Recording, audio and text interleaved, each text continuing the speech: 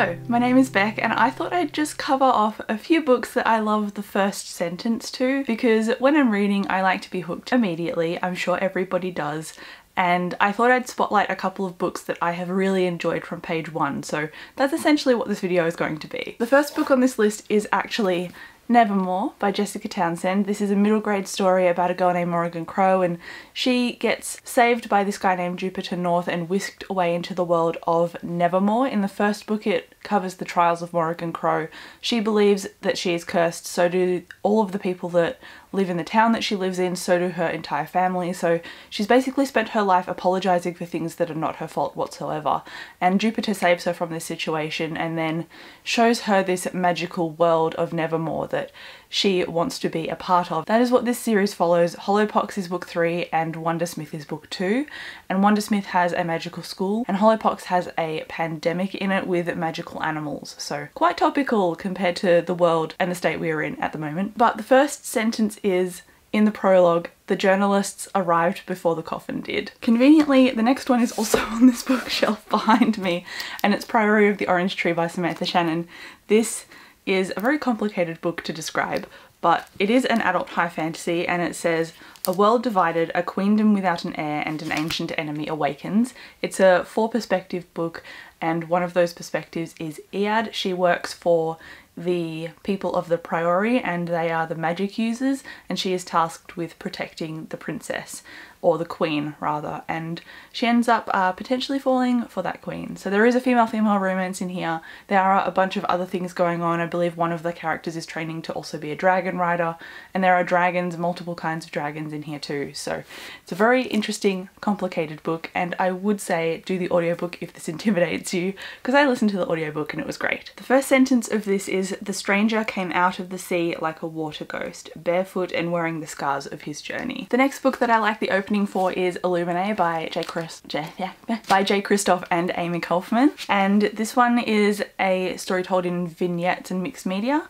because it's about a girl named Kady and this boy named Ezra. Both of them used to be dating but they've recently broken up and then their planet gets attacked. So they have to survive that and navigate it with each other. They're also on a spaceship and then this deadly virus breaks out. It's kind of like a zombie-ish kind of virus and so they have to communicate through chats and technology and figure out a way to survive on this ship that is becoming slowly overrun. But the first line in this book is, so here is the file that almost killed me, doctor. The next book is also behind me. It is This Savage Song by V.E. Schwab. And this is a story that is set in a world where if you commit a crime, a monster literally manifests based on the crime or the severity of the crime you committed.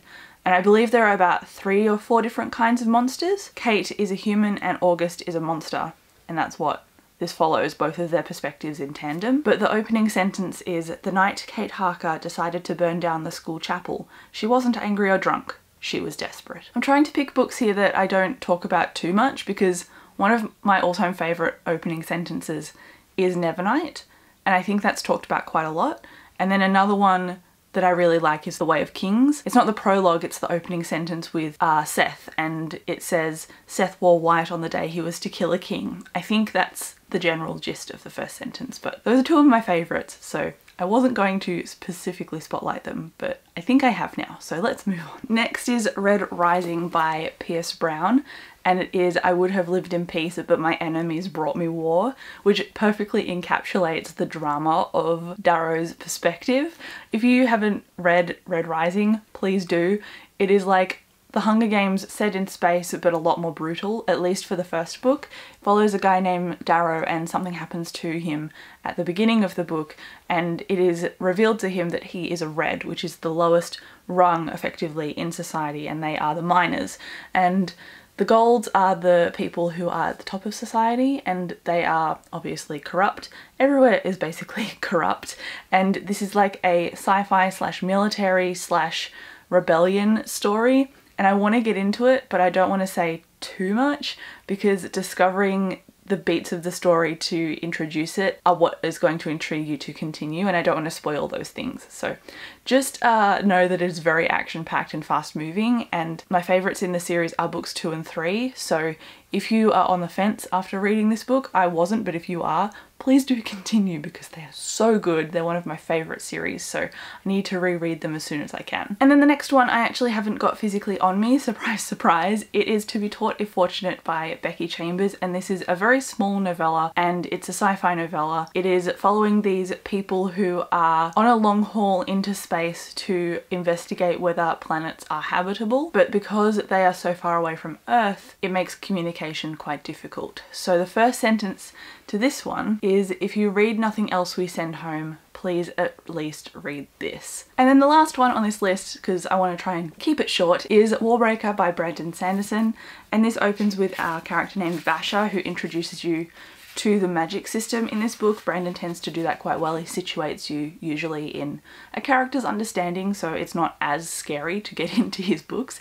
But the first sentence is, it's funny, Vasher thought, how many things begin with getting thrown into prison? That is my first sentence video. I hope you really liked it. If you know the first sentence to your favourite book, let me know down below because I am always interested in being hooked on a new book. But thank you so much for watching this video. I'll chat to you down in the comments and I'll catch you in my next one. Bye.